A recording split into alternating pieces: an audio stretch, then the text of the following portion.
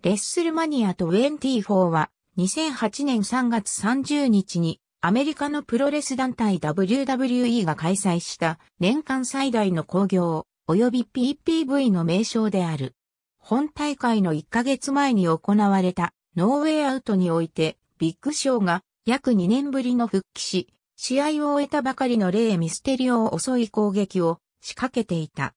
そこに客席に感染のため来場していたメイウェザーが乱入。ビッグショーはメイウェザーを苦労するかのように膝を崩し相手にメッセンを合わせるも、次の瞬間メイウェザーがパンチのラッシュをかけ、ビッグショーは鼻を骨折、激光したビッグショーがメイウェザーを追いかけ、これを抑えるため、WWE のフロント陣が総出となり会場は騒然となった。翌日の RAW において、ビッグショーが謝罪のためメイウェザーをリングに招くも、握手の間もなく相手を挑発。メイウェザーもこれに応対し、決着のためレッスルマニアにおける異種格闘技戦が決定した。ロイヤルランブルにて負傷のため休場していたジョン・シナが突如復帰しそのまま優勝。その後王者であるオートンとの構想に以前まで王座を争っていたトリプル H が割って入る形となり、最終的にトリプルスレッド形式にて WWE 王座戦が行われることとなった。ダークマッチのバトルロイヤルにて挑戦者が決定した ECW 王座戦は王者であるチャボが客席から入場してきたケイに不意のチョークスラムを決められ、レッスルマニア史上最短のわずか試合時間8秒となった。ちなみに WWE における ECW ブランドが2010年に終了したため、この大会が唯一 ECW 王座戦の組まれたレッスルマニアとなっている。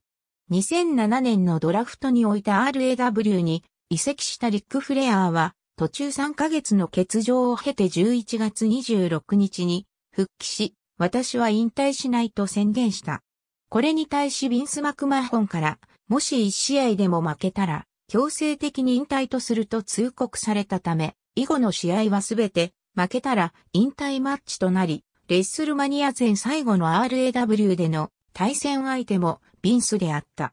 ミスター・ケネディや MVP 等の新規精鋭を退け、全勝を続けるフレアーであったが、レッスルマニア前の RAW のスピーチ中に、ショーン・マイケルズが乱入、レッスルマニアにおける試合で自身が、フレアーのキャリアに終焉を告げると宣言。フレアーはこれを快諾し、レッスルマニアにおいて、フレアのキャリアがかかった試合が行われることが決定した。レッスルマニア前日の WWE 電動式典にて、プレゼンターのトリプル H に紹介され、フレアは史上初の現役レスラーとして殿堂入りを果たした。レッスルマニア当日、試合直前のインタビューにおいてフレアは自身の有名な語録、2B ザマンユーブ 2B とザマン、一流になりたければ一流を倒せという一言のみをスピーチし、リングに向かった。試合序盤は、昨年のレッスルマニアにおける、ジョンシナ戦で相手を手玉に取っていたマイケルズが今度は、逆にフレアーに翻弄され、フレアーの調子に流されるような展開を見せた。